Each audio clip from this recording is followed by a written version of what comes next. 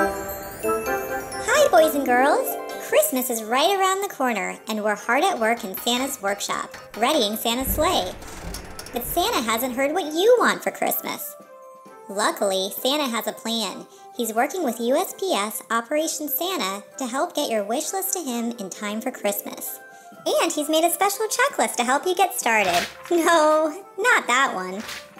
Here's how it works write a letter telling Santa your name and age, what you want, be specific, the size, style, and color for clothes or shoes, name of the games, toys, or books you would like, and your address. Put it on the letter so he can get it to you.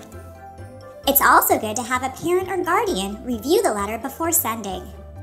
Now put the letter in a stamped envelope and address it to Santa Claus, 123 Elf Road, North Pole 88888.